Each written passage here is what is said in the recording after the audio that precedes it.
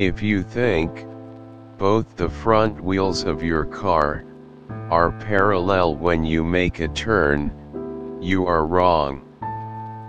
When you take a left turn, the left wheel covers a shorter distance, and the right wheel covers a longer distance. It means, that both the tires are rolling in a different radius, and different speeds. As the rolling radius, speed of wheels are different, what happens if, both the tires are inclined at a same angle theta? It will lead to excessive tire wear. Then, what's the condition, for perfect steering? All the four wheels of your car, must turn about a same point, called instantaneous center I. Also, it should not violate at any position. Now, the angle made by the tires, in this condition, at any position, is the perfect steering angle.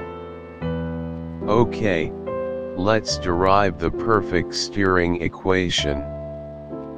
Add two lines to our diagram to form two right-angled triangles, and name all the points as A, B, C, D, E and the instantaneous center I.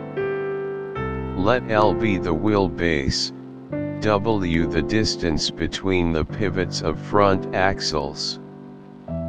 From triangle IAE, cot theta is equal to adjacent side divided by opposite side.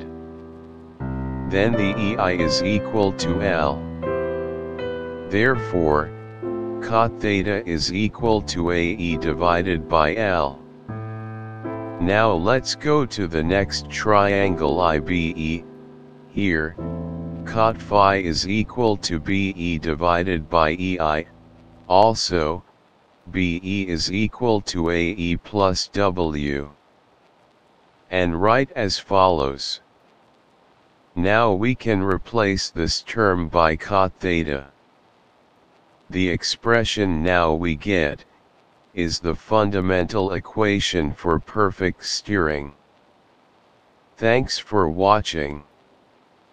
Don't forget to subscribe.